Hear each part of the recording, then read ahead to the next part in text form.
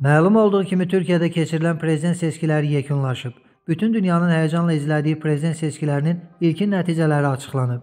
Türkiyə Mərkəzi Seçki Komissiyasının son açıqlamasına görə Türkiyənin hazırki prezidenti Rəcəb Tayyib Ərdoğan 52,3% səslə liderliyi qoruyur. İkinci yerdə Kemal Kılıçdaroğlu 42,11% səslə qərarlaşır. Üçüncü yerdə isə 5,33% səslə Sinan Oğandır. Məlumat üçün onu da qeyd edək ki, artıq seçki qutularının 47,55%-i açılıb.